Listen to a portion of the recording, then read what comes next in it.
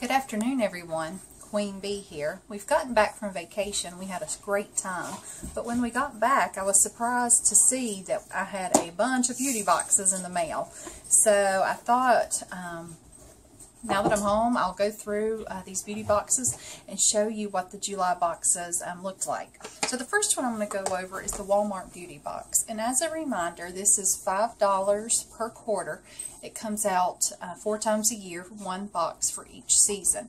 I've been getting this box. This is probably the fourth or fifth one that I've gotten now and quite honestly I'm probably going to cancel this box. Um, again it's only $5 but what I've noticed is they're starting to put a lot of repeat products in the box and the products that they're putting in are um, a deluxe sample size, but you can get these same products in the travel size, you know, in travel sizes um, at Walmart in their section where they have travel items.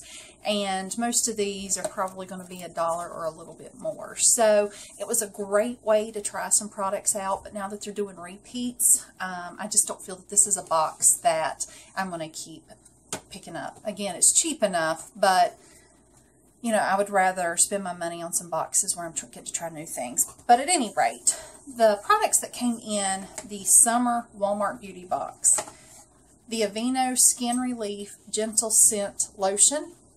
And again, this would be what I would cons uh, consider a deluxe sample size. This is one ounce moisturizes for 24 hours. Aveeno lotions, I do like these, but I've gotten this exact same product from Walmart before, and I've also gotten it in a couple other boxes, so I have several of these. So, again, since I'm getting repeats, I'm probably going to cancel this box. The St. Ives Fresh Skin Apricot Scrub in the one ounce size. And I have also gotten this product before, and I do like this product. Um, but I get the beauty boxes so I can try new things. So I have several of these already.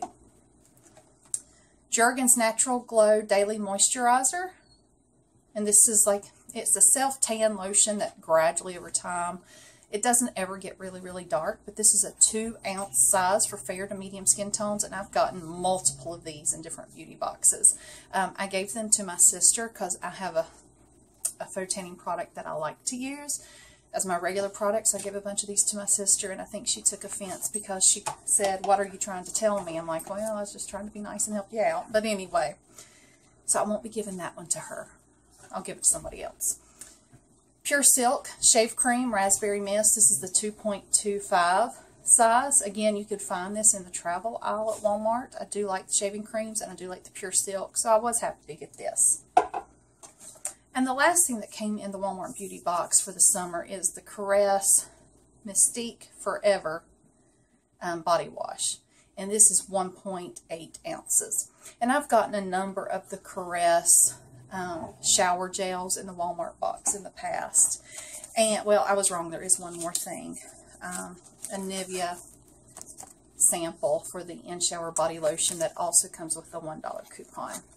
So again, it's $5. It's probably worth the $5. Even if you spent a dollar per product on these in the travel aisle, that would be um, $5, and not, not counting this. And the $5 does include shipping.